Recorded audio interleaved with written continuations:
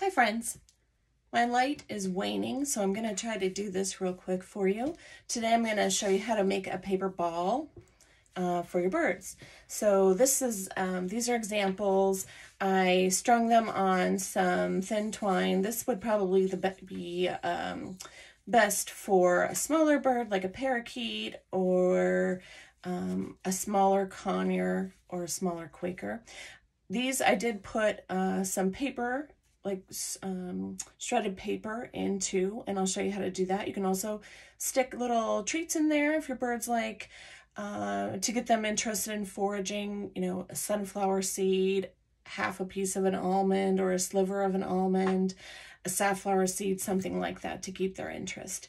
And then just string them along. I put beads in between here, but you could do a whole bunch of different things. And once you know how to do it, it's not terribly difficult, but the process is kind of hard to explain without doing it visually. So here we go. We're going to need two pieces of paper. I used, um, I used Astrobrite paper that I got uh, from the big box store. The reason why is it's acid free and it's lignin free. So those are the thick qualities you want to look for uh, when you're finding paper to use for bird toys. And they come in really bright colors, which is fun for me to work with. I have already cut two uh, pieces out. They are one inch wide and it's the length of the paper. And then in the center of them, I have another cut. And you can see that it doesn't go all the way to the top, it goes almost all the way to the top, but this is how we're going to secure it and start uh, the weaving process. So um, I have four pieces, essentially four legs, I call them, that we're going to use to work with. The first thing to do is I am going to keep this piece, my green piece, kind of on this side, and I'm going to start weaving in my pink piece. It doesn't totally matter how you start it. It's more about how you keep going. So my first leg here, that I'm going to call it a leg. Um, and I'm even going to, I'm going to number it. This one is going to be number one. This is my number one side. This is going to be my number two. And then down here, I'm going to call this one number three and number four. You don't have to do that, but I'm to use numbers just to try to make sure that we um, have some kind of um, visual cue that I can use instead of the one on the left or the one on the right, depending on how you're viewing this. So I'm to take one. It's to go, and I have this other piece going this way. One is going to go over the top of four, or this first leg. You probably won't be able to see that, sorry. And under three. And then number two, your two leg is going to do the opposite. So it's going to go under four and over three. So you can kind of see how it's coming together. This is very reminiscent of uh, if you ever made uh, placemats out of paper. I think I did that in school at some point. Um, it's the same theory. So then we're just going to pull them so, till they get to the edges. I'm going to pull it so that this is snug against the pink and the green is snug up against the end of the cut in the in the uh, the green paper and in the pink paper. We still have our numbers one, two, three, four. The next thing we need to do is kind of get rid of these two parts. So I'm, it doesn't matter which one you do first. I'm just going to fold them over the side. So it's kind of tucked into the back there. Again, I'm trying to work with my light. We'll see how it goes. All right, so now those are just folded back. This is what it looks on the, like on the opposite side. It's not real pretty, but it doesn't need to be. The last thing before we start our weaving is, uh, is to fold this little corner back. it just makes it so that later on as we're making our ball, we don't have to deal with this sticky out corner piece. That is a technical term. So there we go with that. Now, the first thing that we're going to do is take our leg number one and put it over, goodness, leg number one goes over leg number two. It's easier to hold it sort of in the air like this because it's going to start wrapping around into a ball. One goes over two. Then over here with your other hand, you're going to do four going under three. Here's what it looks like, kind of. And you just kind of have to start making it work for yourself. It takes a little time to practice. And even still, I sometimes end up with kind of a mess, but you, you can, I'll show you how to kind of work it together in the end and your birds aren't going to care. It's going to be fun for them to rip up. All right, so then we have, we're going to start the process of weaving these together. So our number four piece here is going to go over number one and under number two. And our number three piece is already starting to move a little bit in the right direction. It does the opposite. It goes under one and then over two. Will you have to do gymnastics with your fingers? Yes, maybe. Or you can call me and I'll try to make some for you. Don't call me. You can send me an email if you know my email. Okay. Uh, so then we can just kind of tighten things up. So here's the top of our of our thing, but as we've started to weave it together in this way, it's going to start to curl around. Once you've done this first step, um, you're gonna you're gonna notice a couple of things. First of all, our numbers are exactly backwards. Now we have four, three, two, one. Also, it's starting to look like a ball and you'll see that you have kind of an opening here.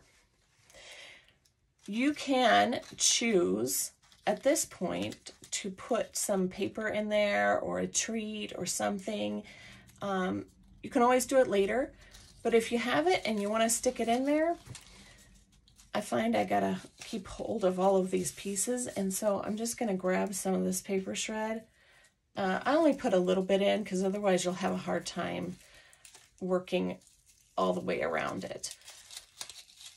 And again, later at the end, if you've forgotten to do that part and you just want to stuff some in with a end of a chopstick or a pencil or something, that's also an option. Okay, so now we're back here. We, again, we have four, three, two, one. We're going backwards, so we're going to do the same thing. This side, four, is going over three. This side, one, is going under two. Then one is continuing on. Over four, under three. Two, this leg is going under four and over three. So at the end of each kind of weaving thing, when we pull it a little tighter, our pink legs are going to be together and our green legs I'm sorry, I'm making this up and it's probably more complicated than it needs to be, but this is how I think of it in my own head. Now we're going to just kind of pull it a little tighter. You don't have to pull it super tight and it doesn't have to be perfect. But what I try to do is make sure that I still have about the same, that these two pieces are about the same length and that these two legs are about the same length as well. Okay, so now look, we're back to one, two, three, three, four. Okay. And we're going to have to do it again. So, holding these together. One goes over two. Four goes under three. Four goes over one. Under two. Three goes over one and under two. Sorry. Three goes under one and over two. You'll know this because you will correct yourself when you see that it doesn't look right, like I just did. All right, and then I'm going to just keep pulling these pieces just real gently. Remember, it's paper. And I think the key is to just kind of follow the follow the pattern of the paper. I think I had to do this like, I don't know, 10 times before I got like a similar, something that looks similar to an actual ball. So if you really want to do these, don't give up, just keep practicing. Maybe you'll get it on the first try and be so much cooler than me, which probably isn't hard. Okay, here we are again. We got our four, three, two, and one. Say it together. Four goes over three. One goes under two. One goes over four, under three. Two goes under four, over three. And we are pulling. I try to keep my hands or my fingers on